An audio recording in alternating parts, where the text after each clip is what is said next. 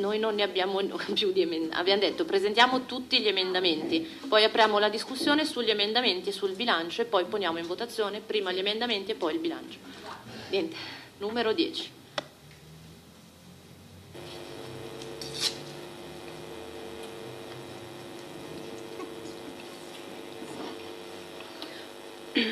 Allora, eh, come Lega Nord Malnate abbiamo presentato quattro proposte di emendamento, ehm, tre con piccole, mm, piccole varianti che eh, tendenzialmente vanno, eh, hanno lo scopo di dimostrare che eh, attraverso piccoli risparmi e senza quindi alterare il progetto politico di questa amministrazione c'è la possibilità, quindi ribadisco, senza tagliare nessun servizio, ma se, semplicemente attuando dei virtuosismi, di realizzare degli interventi eh, di varia natura.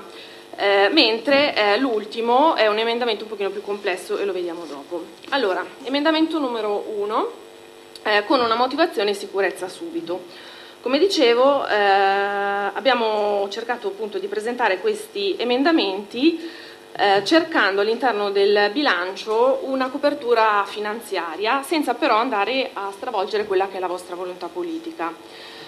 Eh, in, con questa motivazione sicurezza subito, visto anche il voto unanime della mozione relativa alla sicurezza per l'attraversamento di via General Ravina all'altezza della scuola materna Frascoli, si auspica appunto che tale emendamento possa riscuotere parere positivo.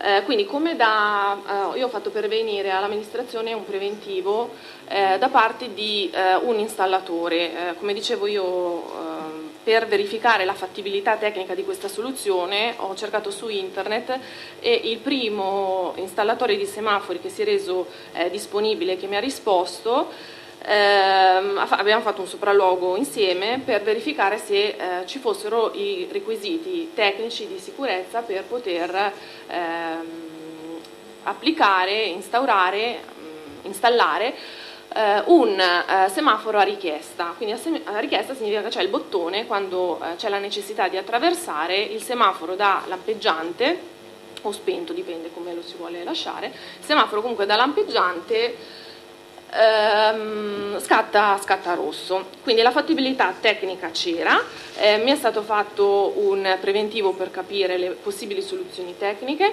questo preventivo è stato eh, consegnato all'amministrazione comunale unitamente a una ipotesi di spesa, chiamiamola così, forfettaria che eh, potrebbe essere mm, ipotizzata eh, per quelle che sono poi le, eh, la, messa, la, messa, in opera, quindi le, le opere murarie e l'allacciamento.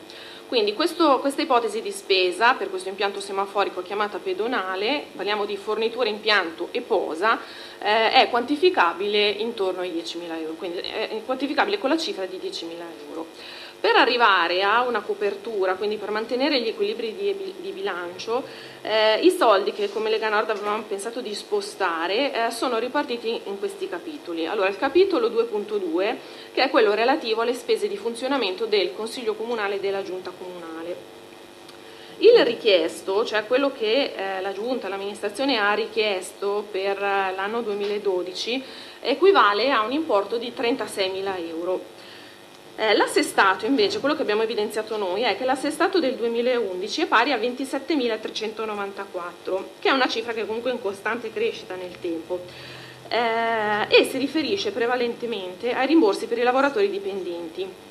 Eh, su questo, eh, a nostro giudizio, visto che eh, è presente all'interno della giunta, cioè presente, è sempre, eh, manca, è venuta a mancare la figura dell'assessore al bilancio per X mensilità, eh, significa che in questo capitolo è previsto un risparmio.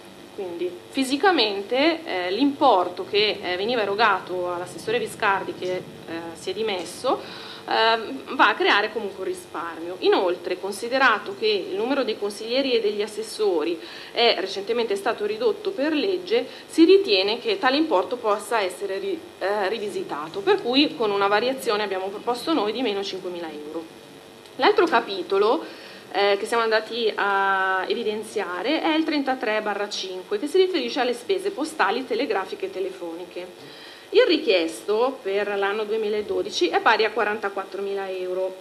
Ehm, l'assestato, siamo andati a verificare che l'assestato del 2011 è pari a 42.000 euro, però in virtù di due fattori. Allora, uno che abbiamo recentemente istituito eh, una nuova forma di eh, convocazione attraverso PEC, che questo comunque darà, darà di sicuro uh, spazio a, delle, a, dei risparmi. Uh, questa PEC comunque si può, um, uh, è una forma di, cor- di corrispondenza attra- tramite gli amministratori, per cui comunque una forma di risparmio prevista in questo ambito. E una, un'idea che era nata, era quella di, una, un'ulteriore idea nata, era quella di ammodernare l'impianto eh, telefonico. Cosa vuol dire? Vuol dire che c'è una possibilità tecnica di inserire un sistema VoIP, eh, ovvero eh, un sistema che permetterebbe anche qui di tagliare dei costi. Cosa succede? Che parlando con il sindaco era emerso che tecnicamente eh, questa soluzione, eh, penso attualmente, o non ho capito, tecnicamente comunque eh, per l'ente, per l'ente Comune di Malnate non è attuabile. Eh, ciò non toglie però che eh, il sindaco proprio durante una commissione bilancio ha dichiarato di aver dato disposizione agli uffici comunque eh, di eh, sostenere dei virtuosismi proprio a livello personale per cercare di contenere se non addirittura di ridurre la spesa. Per cui eh, con questa, questo principio di andare a ridurre la spesa e eh, una, una, l'attuazione comunque di un sistema di comunicazione attraverso PEC, eh, visto anche che ehm, questo capitolo era, aveva comunque un importo eh, inferiore per l'assestato del 2011, si ritiene che 4.000 euro sono i 2.000 richiesti in più, più 2.000 di virtuosismi, possono essere sufficien- sufficienti per eh, non, non, alterare che, quella che è l'impostazione scelta dall'amministrazione. Inoltre sul capitolo 335-4 relativo alla città dei bambini c'è un, un importo richiesto di 8.000 euro ehm, che presumibilmente dovrebbe riferirsi all'acquisto di beni. Su questo acquisto beni eh, pensiamo che comunque una variazione di 1.000 euro vista l'entità del progetto Ehm, possano essere tranquillamente tolti per questo progetto per essere eh, impiegati per eh, la sicurezza, visto che comunque eh, questo progetto fa parte di un bando, ma questo bando eh, prevede anche dei costi figurati, quindi comunque si, può, eh, si possono tranquillamente cambiare gli equilibri, 1000 euro non fanno, non fanno la differenza all'interno del bando. Eh, quindi 5.000, 4.000 e 1.000 eh, a, eh, mantengono eh, gli equilibri di bilancio per la spesa dei 10.000 euro. Passo all'emendamento 2. Ok. Allora, il secondo emendamento come motivazione è insufficiente dotazione. Presente emendamento, come il precedente, ha lo scopo di dimostrare che attraverso piccoli risparmi, senza quindi alterare il progetto politico di questa amministrazione, c'è la possibilità eh, di mantenere alcuni servizi culturali. Eh, allora, mm, i, due, i due, capitoli che noi andremo a rimpinguare sono il 308, l'acquisto di libri per la biblioteca, con 3.500 euro e il 335-3, ex, scusate, ex 335-3 marketing del territorio con 3.000 euro. Cosa succede a questi due capitoli? Che il 308 eh, relativo all'acquisto di libri per eh, la biblioteca ha un richiesto da parte dell'amministrazione comunale per il bilancio di previsione 2012 di 6.500 euro. 6.500 euro eh, sinceramente eh, sono un po' pochini secondo me per un comune centrosistema. Diciamo che questo capitolo, che ai tempi era un pochino più ricco, è stato tagliato con l'accetta ai tempi del commissario quando doveva in qualche modo far fronte a delle spese. Però direi che ad oggi con eh, le nuove tasse che sono state introdotte, dell'IMU, dell'IRPEF e eh, con il fatto anche che comunque il sistema di Malnate è a centrosistema, secondo me un segnale di questo tipo di, eh, dire, di, di, di nuova partenza, secondo me è importante anche perché se non, se non erro, eh, durante la presentazione del bilancio di previsione l'assessore alla cultura mh, mm, ha detto che avrebbe voluto eh, aumentare questo importo, che poi in realtà invece l'ho visto eh, l'ho visto così, fermo, fermo, fermo, al palo. Quindi con queste motivazioni sinceramente ehm, manca vediamo che manca un pochino la volontà politica di... Eh, di promuovere la cultura. È vero che la coperta è corta, perché la coperta è sempre corta e il primo restare scoperto è la cultura, si sa, perché non si possono, eh, come, già, come già detto in commissione, è vero che non si possono tagliare servizi prioritari per i cittadini, soprattutto sul sociale, però è anche vero che attraverso questo emendamento noi dimostriamo che di sociale non tagliamo niente, semplicemente eh, andiamo a ripartire meglio i soldi presenti nel vostro bilancio. Quindi, ehm, Spero che non mi si venga a dire i soldi non ci sono, li abbiamo messi su altri, su altri capitoli perché è qui da vedere che la possibilità di mettere i soldi sulla cultura ci sono. Un altro intervento da fare è quello sul capitolo, come dicevo, ex 335-3, che è quello del marketing del territorio. Sinceramente non ho capito come mai questo, questo progetto del SIC delle scuole in carrozza sia stato eh, depennato dal, dal, vostro bilancio, anche perché era un progetto, come si dice, pronti via, dove c'era stato, stato fatto un grande lavoro eh, di, chiamiamolo di back office, cioè era tutto pronto, era un progetto pronto. E eh, volevo, eh, ho portato anche una eh, come vi dicevo in commissione, questo progetto, eh, vediamo se lo trovo di qua, no era dentro qua, questo progetto vanta numerose collaborazioni, allora, così vi racconto esattamente. Allora,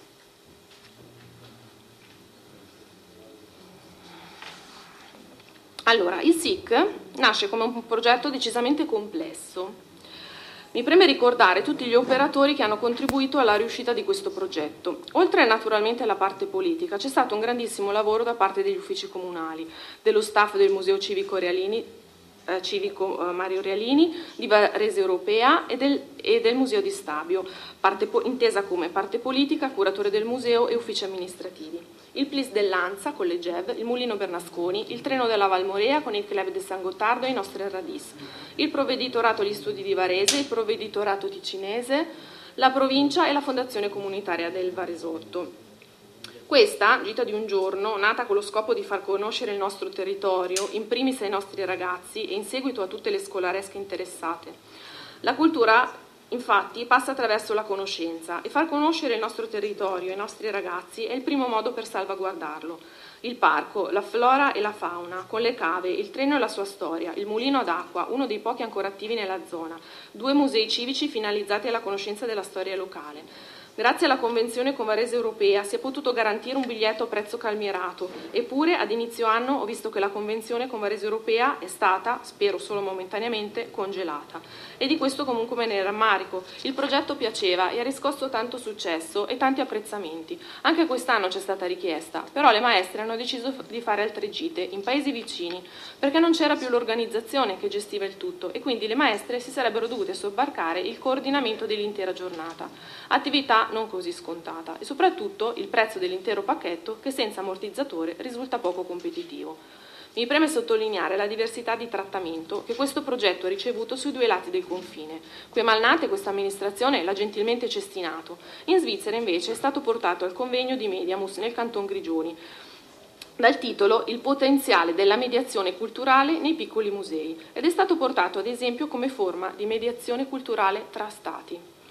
L'organizzazione del convegno si fonda infatti sulla convinzione che i piccoli musei possano avere un grande futuro se sapranno cooperare fra di loro e con il loro ambiente circostante. Spesso ci si riempie la bocca di stereotipi sulla cultura e poi davanti ad una progettualità forte come questa ci si spaventa per mettere a bilancio i soldi necessari. È questa una cultura sostenibile che avete in mente? In questo bilancio di spesa altissima non vedo grossi tagli, vedo solo tagli strumentali. Questo l'avevo scritto per, la precedente commissione poi, eh, per, il precedente consiglio che poi è saltato. Il principio vale, non vedo grandi differenze da settimana scorsa a questa, nel senso che questo è un progetto che eh, mette insieme diversi elementi, la cultura locale, il patrimonio naturalistico il nostro parco che abbiamo, la scoperta dei, dei, dei nostri eh, fornitori, collaboratori, patrimonio artistico storico, eh, la scelta di far andare i nostri ragazzini a conoscere il nostro territorio. Sono tutti elementi che hanno lo stesso peso e la stessa importanza. Non capisco come mai eh, su altri fronti c'è stata una volontà di collaborare, come ad esempio il Festival Frontiere Letterarie. Su questo invece c'è stato un colpo di spugna senza nemmeno confrontarsi eh, per capire quali sono le problematiche che stanno sotto a questo, veramente un colpo di spugna è stato. Eh, quindi su questo vi invito veramente a riflettere perché mm, secondo me questo progetto non merita di morire così, soprattutto eh, in vista anche di tutte le persone che eh, hanno lavorato veramente per la riuscita di, di, questo progetto, ma soprattutto per i risultati ottenuti, per i risultati visto che quest'anno, ribadisco, c'è stata ancora domanda. Eh, quindi queste variazioni di 3.500 euro più 3.000 euro sono 6.500 euro. Questi 6.500 euro per trovare la copertura finanziaria per mantenere gli, per mantenere gli equilibri di, di, bilancio li abbiamo identificati all'interno del capitolo 1 1 indennità di carica con un richiesto di 52.000 euro. Eh, anche qui vige lo stesso principio, visto che eh, è venuto a mancare, non nel senso che è morto, ma che, momentaneamente è venuta a mancare questa figura dell'assessore al bilancio per diversi mesi e quindi un dato di fatto che non c'è, è lì. È, è, è, è, realisticamente un dato di fatto che comunque eh, una copertura, una copertura finanziaria lascia comunque lo spazio a, del, a dei risparmi. Questo è il primo, il primo, principio. Il secondo principio è che eh, in tempi non sospetti gli attuali amministratori parlavano di essere eh, pagati in proporzione ai, ai risultati e eh, a questo punto mi sento legittimata a fare questa, questo affronto, questa sfida. Eh, avete tolto un progetto, un progetto che funzionava, che andava bene, quindi davanti a una, a una progettualità che è venuta a mancare questo punto volete fare eh, gli stipendi partecipati, chiamiamoli così, allora togliamo una quota di questi stipendi, visto che non c'era niente da fare, c'era solo da uh, mettere una firma su un foglio e dire ok, questo è un progetto buono, portiamolo avanti. Uh, l'altra, l'altra, parte è una cifra simbolica perché sono solo 500 euro, però sul capitolo 1 barra 3, indennità di missione al sindaco, assessori e consiglieri, c'è un richiesto di 1000 euro. Anche qui l'assestato del 2011 ehm, pare 3.300 euro, però c'è uno storico che bisogna spiegare. Cosa succede? Succede che c'è stato un commissario e da questo capitolo il commissario eh, pescava le sue risorse per, per, dire, per, gestire quella che era la sua, la sua attività. Se andiamo infatti a vedere l'assestato del 2009, quello che veniva proposto su questo capitolo erano 500 euro, un, un rimborso minimo proprio in caso di spese. Tornando al discorso che a principio, che comunque ci sono meno assessori, meno consiglieri, dal 2009 ad oggi non capisco perché bisogna passare da 500 euro a 1000 euro, quindi sinceramente i 500 euro eh, stanziati nel 2009 ritengo che siano più che sufficienti. Quindi con queste due cifre del capitolo 1 barra 1 e del 1 barra 3, eh, in questo modo eh, questo emendamento mantiene gli equilibri di bilancio. Andiamo al 3.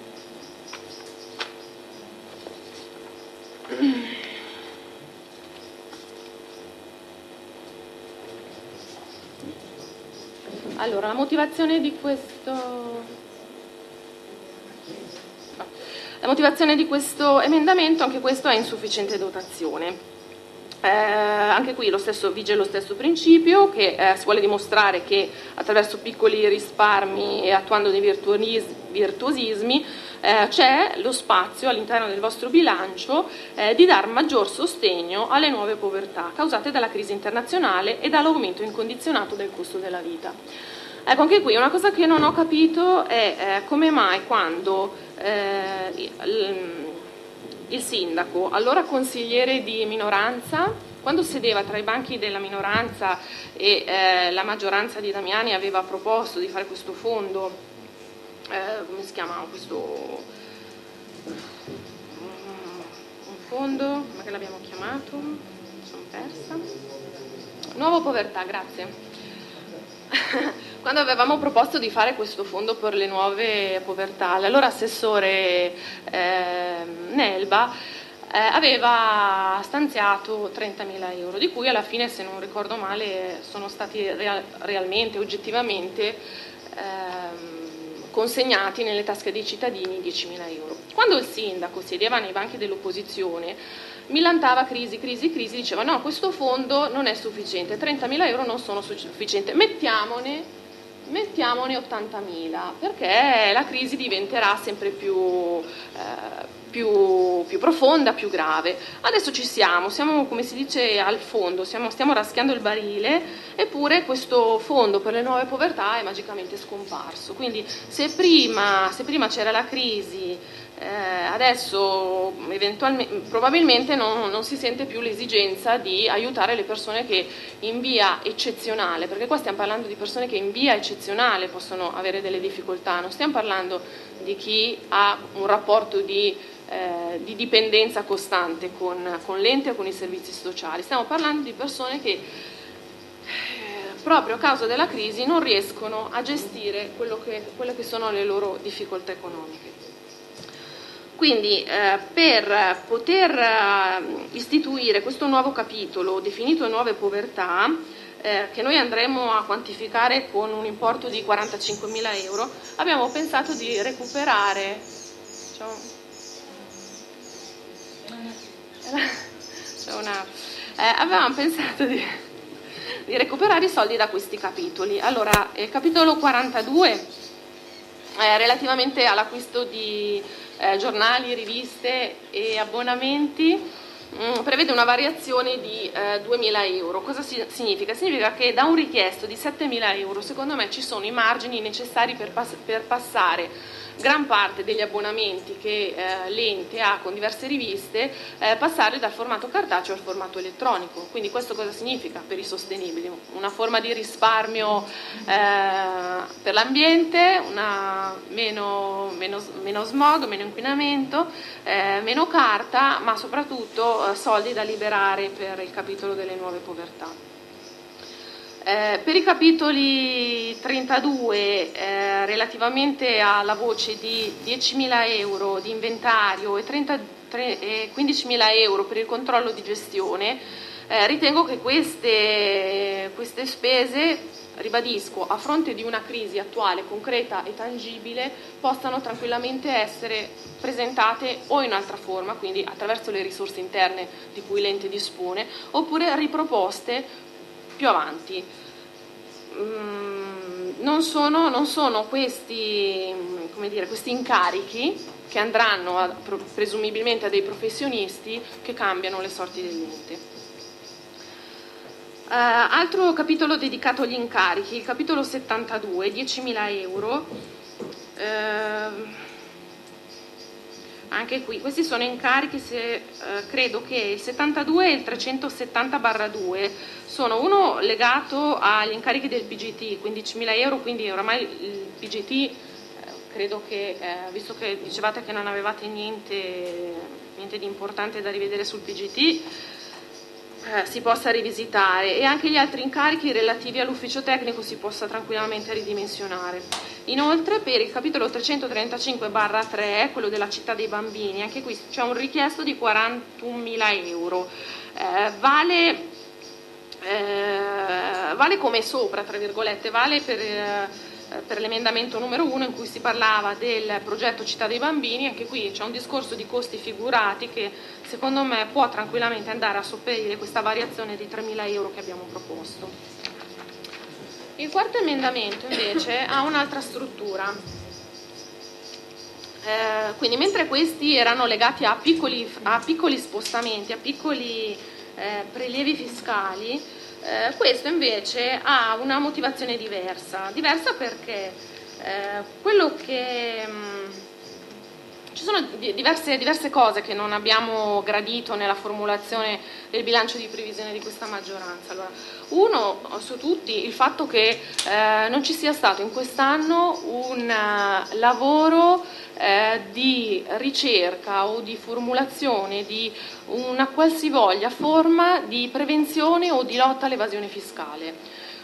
Non c'è se non per vecchie, eh, i vecchi importi che stanno rientrando per quello che era forse l'ICI se non sbaglio, o era, era qualcosa ma di vecchio che sta, eh, che, che sta, comunque finendo il suo corso, eh, non ci sono, non, ci sono cioè non, non c'è una voce, non c'è un impegno politico per una lotta all'evasione fiscale. E quindi quello che non ci piace è che la pressione fiscale verte sempre sulle stesse persone, vale va sugli onesti, va sulle persone che pagano, che sono una fonte certa di entrate e quindi si va a pescare sempre dalle stesse persone. E questa è una cosa grave da una giunta di sinistra, che non c'è la lotta all'evasione fiscale, molto grave secondo me. E noi abbiamo nel nostro, nel nostro, emendamento, con questa motivazione abbassamento pressione fiscale, perché non è giusto che siano sempre gli stessi a pagare, abbiamo messo un importo di 100.000 euro per la lotta all'evasione fiscale. Domanda, è stato fatto qualcosa? È stato fatto qualcosa? C'è qualche voce a bilancio per l'evasione fiscale? Io non l'ho trovata. Un'altra voce è quella dell'alienazione dei beni pubblici, quindi in questo caso ho segnato locali, vendita dei locali della farmacia, ma non solo, ci sono terreni, ci sono, eh, ci sono altri eventualmente piccoli immobili che in questo momento possono eh, creare quella liquidità necessaria all'ente per, per, per far sì che il prelievo non venga fatto sempre sulle stesse persone. Inoltre l'addizionale IRPEF progressiva, questo questo forse per voi è la parte più dolente perché eh, per combattere questa IRPEF che non avete voluto in forma progressiva per strada vi siete persi un assessore. Che poi l'avete voluto perdere o l'avete voluto, voluto, accompagnare alla porta, questo sono affari vostri e un altro discorso. Però eh, sinceramente mi sento di dire che politicamente eh, l'ex assessore ne è uscito bene, ne è uscito a testa alta, è uscito come uno che eh, ha sostenuto gli interessi della popolazione, non gli interessi di una maggioranza. Attenzione, voi stortate il naso, però voi, allora, a parte del PD non ho sentito grandi relazioni, però le liste civiche mi hanno motivato eh, questa scelta dicendo noi in questo momento non ci sentiamo di eh, applicare un'addizionale IRPEF progressiva perché vogliamo prima eh, studiare quello che è un quoziente familiare. Allora domanda 1, cosa avete fatto in quest'anno? Non l'avete studiato? Non c'è niente? Un anno perso. 2, volevate volevate applicare questo concetto del quoziente familiare, mi sta bene, legittimo, però questa era un'opportunità simbolica per alleggerire il, pre- il, prelievo fiscale dalle fasce medio-alte, andando a colpire quelli che sono quelli che hanno un reddito superiore, penso ai 50-70 mila euro. E qua si aprono due interrogativi. Allora, uno, perché non, volete, non, avete voluto fare questa cosa? Il quoziente familiare comunque non è che risolverà magicamente questo problema. Il quoziente familiare, anche se deciderete di applicarlo l'anno prossimo, comunque avrà un costo. È alto. Allora, il quoziente familiare porterà un costo, quindi avete un'idea di cosa vuol dire questo costo rispetto ai soldi che quest'anno non avete chiesto, quest'anno che probabilmente anche l'anno prossimo andrete a chiedere ai cittadini. Quoziente familiare va studiato. Quoziente familiare comunque permette, anche senza, scusatemi, senza applicare già quest'anno il quoziente familiare, c'era la possibilità di far risparmiare dei cittadini. E allora, domanda, ehm, perché no? Perché no? Chi state difendendo? Chi state proteggendo? Come, come, avrebbe detto Paganini ai bei tempi gloriosi in cui sedeva nei banchi dell'opposizione ed era grintoso? Cosa c'è sotto? Eh, con i diritti. con i diritti. Cosa c'è sotto?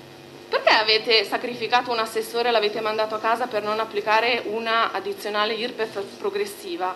Che permetteva veramente di far risparmiare al ceto medio-basso. Una, voi dite simbolica, va bene, ma anche simbolico il taglio, il taglio eh, del, degli stipendi degli amministratori. Non è che con il taglio degli stipendi dell'amministrazione si è risollevata la finanza de, dell'ente, è stata una scelta simbolica. Bene, l'avete fatto, bravi. Vi stiamo dicendo che c'era la possibilità di fare un'altra operazione simbolica, di far risparmiare anche solo un euro al ceto medio-basso e, e quell'euro di farlo pagare al ceto alto. Perché no? Perché no? Questo è grave secondo me. Un'altra cosa che mi, to- mi, tocca sempre chiamare in causa l'ex assessore, ma ha scritto una cosa nella lettera delle sue dimissioni che mi ha agghiacciato. Ha scritto io me ne vado perché serve un'operazione di sinistra. Malnate ha, bisogno, ha terribilmente bisogno di un'operazione di sinistra. Poi politicamente non state facendo quello, quello per cui siete stati eletti. Non state facendo quelli di sinistra che aiutano il ceto medio-basso. E questa è la cosa triste di tutta questa vicenda avete tradito il voto dei vostri elettori. Poi, detto questo, riduzione neve da 80.000 a 50.000 euro. Anche qua è vero che non si può prevedere ehm, un discorso di, di meteo, però ehm, ci può stare, ci può stare nel senso che comunque non era una cifra così, così eccessiva, era comunque una forma di, di, di, compensazione. Inoltre stiamo parlando di un'altra voce che è quella del 3%, quindi una riduzione netta. Come vi dicevo prima, già dei precedenti emendamenti, ehm, c'è una spesa pubblica più alta, c'è una spesa pubblica superiore, superiore a quella del, dell'assestato 2011. Perché? Perché se c'è crisi, tutta la crisi che c'è, e poi c'è una spesa pubblica più alta? Questa è una voce che veramente bisognerebbe eh, comprenderla. Inoltre, vabbè, noi come Lega Nord abbiamo chiesto uh, in tempi non sospetti che ci, uh, ci fosse una, una formulazione della, eh, dell'aliquota IMU sulla prima casa allo 0,2. Visto che non siamo riusciti a portare a casa questo 0,2, eh, ci riproviamo con lo 0,4 e quindi una eh, differenza, una rimodulazione diversa di quello che è eh, l'IMU da 0,56 allo 0,4 eh, permetterebbe quindi di avere attraverso questa differenza tra le due aliquote eh, una voce a disposizione eh, per l'IMU. Questo mh, mm, per l'IMU chiamiamolo seconda casa o altre destinazioni. un'altra voce che non abbiamo non abbiamo gradito è eh, che eh, tra le altre destinazioni c'è un'aliquota altissima relativa a quello che sono eh, i commercianti. Quando, eh, dice, quando, la precedente amministrazione eh, ha individuato delle, delle soluzioni eh, per, per, i commercianti, anche lì è sempre qualcuno in minoranza diceva che eh, queste soluzioni non andavano bene. Ad oggi però all'interno di questo, di questo bilancio eh, non vediamo un grande impegno per i commercianti. Eh, ricordiamo che eh, la crisi colpisce anche i piccoli, i piccoli commercianti.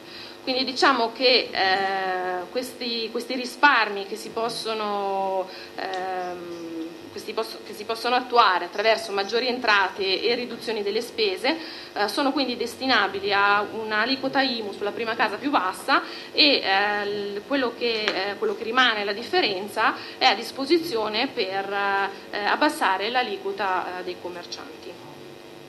Questo è quanto. Grazie al consigliere Cassina. Apriamo a questo punto la discussione sia sugli emendamenti che sul bilancio. La parola al consigliere Barel che si è prenotato. Non era un emendamento, era una relazione al bilancio. Lo presenta all'interno del suo intervento. Nel suo intervento politico pre- relazionerà rispetto alla posizione. Buonasera, grazie Presidente. Prima di eh, aprire la bagarre eh, vorrei eh, ricordare il carabiniere che è morto oggi in Afghanistan, se me lo consentite, perché credo sia un atto doveroso, visto che è andato lì con la faccia di tutti noi. Grazie. No, è vero, mi scuso, ho sentito oggi al telegiornale, poi andando al lavoro mi è completamente uscito di testa e purtroppo no, no, ha, fatto, ha fatto, bene a ricordarmelo, il nome non, no, l'ho eh, sentito. onestamente io l'ho visto stasera. Mi sarei informata, so. ma oggi appunto stando al lavoro, quindi chiedo un attimo, possiamo fare adesso un minuto di silenzio, un minuto di silenzio per Grazie. il carabiniere.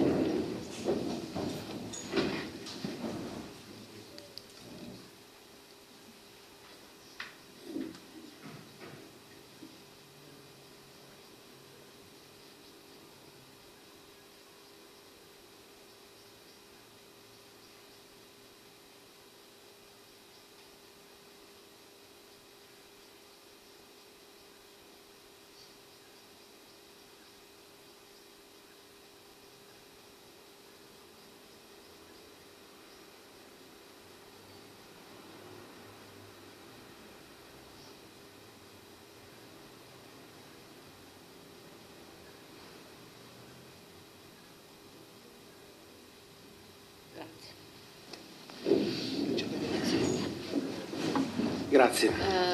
Uh, uh, scusi un secondo, consigliere Bareno, rispetto, mm, no, come metodo, leggiamo prima l'ammissibilità degli emendamenti così vediamo subito poi la discussione su che cosa potrà... La parola, sì, sì, sì. Ok, grazie.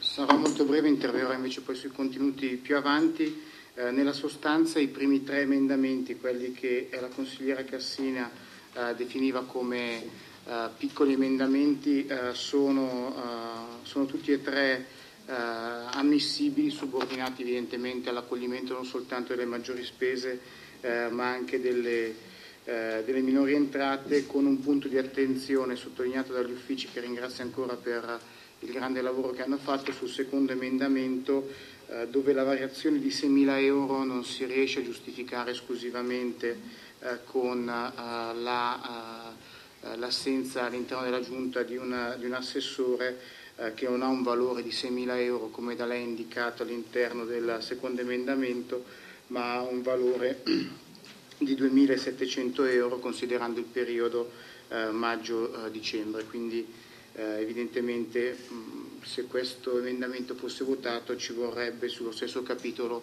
una uh, ulteriore riduzione.